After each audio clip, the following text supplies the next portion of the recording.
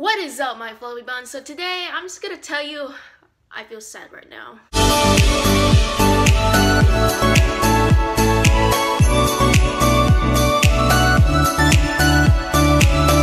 Okay, so the most awkwardest thing, I was like sitting right across from Lola. I, I couldn't even know how to talk because I'm an introvert and plus this collab is probably never gonna happen because we're supposed to do a cook with me video, but yeah, I just felt a little awkward.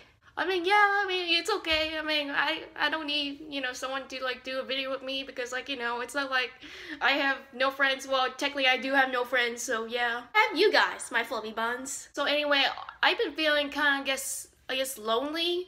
But I don't feel lonely when I'm on the camera because, like, you know, you guys, my fluffy buns, are, like, my family and friends. I don't know how to say this because no one wants to collab with me because I'm a complete introvert and like I might do some uncomfortable things that nobody wants to see. So yeah, I just want to tell you guys how I really feel today and like, you know, I just, I was like looking forward to this collab and like, you know, I kind of like want to do a cook with me video instead like doing cooking ASMR.